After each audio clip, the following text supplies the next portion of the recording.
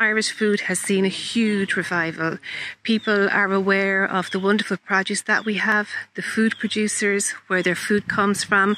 We've got the most amazing cheese makers, we've got charcuterie, we've got veg growers.